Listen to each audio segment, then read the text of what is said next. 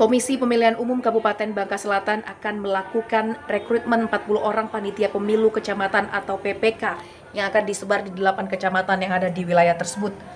Ketua Komisi Pemilihan Umum Kabupaten Bangka Selatan, Amri mengatakan untuk mendukung pelaksanaan teknis pemilu, KPU Bangka Selatan mulai melakukan rekrutmen terhadap PPK untuk melaksanakan pemilu di tingkat kecamatan.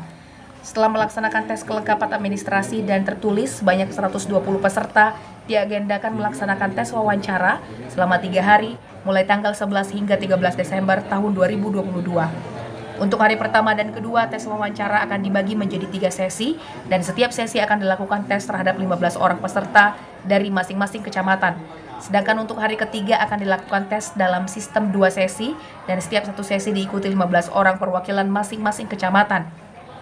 Dari 120 orang peserta yang mengikuti seleksi PPK, hanya lima orang masing-masing kecamatan akan terpilih dan lima orang lainnya dinyatakan sebagai cadangan. Amri berharap dengan adanya PPK nantinya dapat membantu tugas KPU Kabupaten sebagai tim pelaksana teknis pemilu di tingkat kecamatan.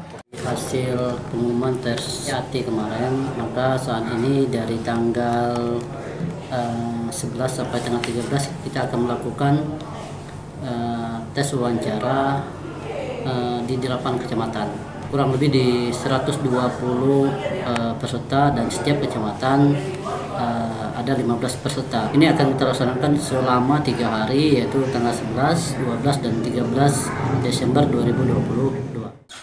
Sementara itu Rini, salah satu calon PPK asal Kecamatan Simpang Rimba mengakui telah melakukan berbagai persiapan untuk tes wawancara kali ini. Persiapan yang telah dilakukan meliputi menjaga kebugaran fisik dan mempelajari potensi materi yang akan keluar pada saat sesi wawancara berlangsung. Selain itu, dirinya mengakui dengan persiapan yang dilakukan, ia optimis dapat terpilih sebagai salah satu panitia pemilu kecamatan, khususnya di wilayah kecamatan Simpang Rimba.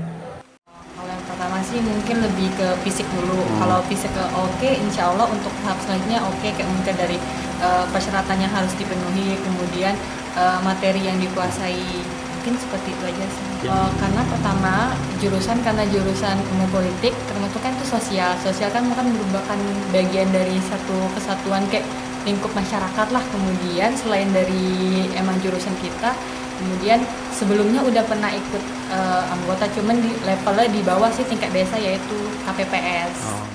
dari Bangka Belitung Eko Septianto Rashim TVRI Bangka Belitung melaporkan